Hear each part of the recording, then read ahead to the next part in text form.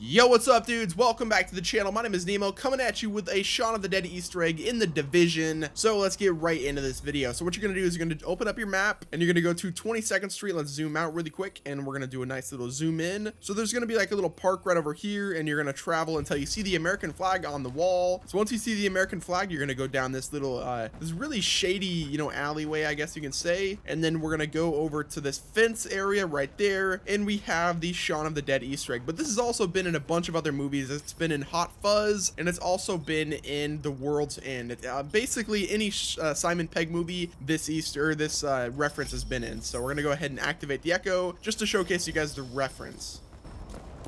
Shit! They found us! We're so dead! Quick, through here. What? Over the fences? What's the matter, Deborah? Never taken a shortcut before? Uh, ah! Ah!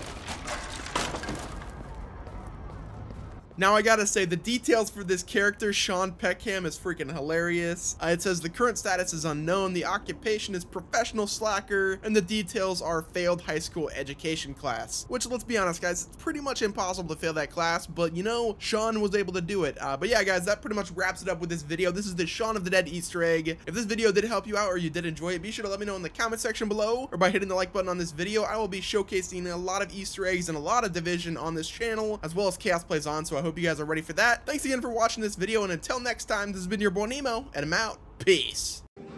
What's the matter, David? I've taken a shortcut before.